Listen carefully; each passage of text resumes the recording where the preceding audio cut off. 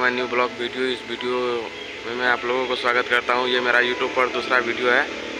Video में मैं आप लोगों को बताने वाला हूँ अपनी कंपनी के बारे में। तो वीडियो को लास्ट तक बने रहना और चैनल पर नए हो तो सब्सक्राइब ज़रूर कर देना, क्योंकि ये नया चैनल है इसलिए आप लोगों को साथ सपोर्ट की बहुत ज़रूरत है। तो सब्सक्राइब कर देना।